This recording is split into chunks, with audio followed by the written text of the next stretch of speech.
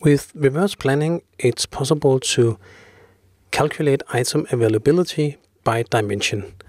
So let's look at my item 1000. If I'm just looking at the graphical profile for that item with no project filter, project is my dimension 1, I can see that my expected end inventory is 90, meaning I will have quite enough on stock as it looks here.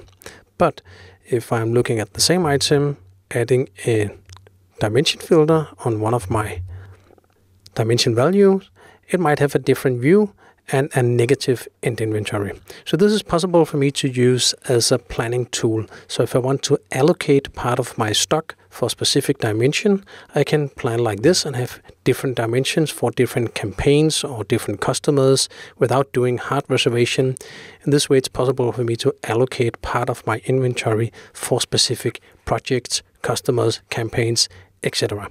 And this means that even though I have enough on stock if I'm not looking in dimension, it's possible for me to plan in different dimensions. So if I'm in my reverse planning worksheet, finding critical items, and I'm planning with a dimension filter in my dimension, it's possible for me to calculate each item on this dimension code. So as you can see here on item number 1000, my end inventory was minus 8, as we also saw in the graphical view.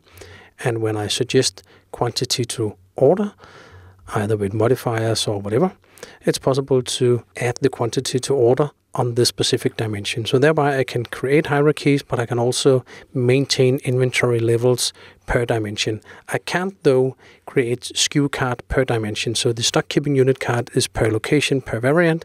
So I need to maintain my inventory levels on dimensions differently.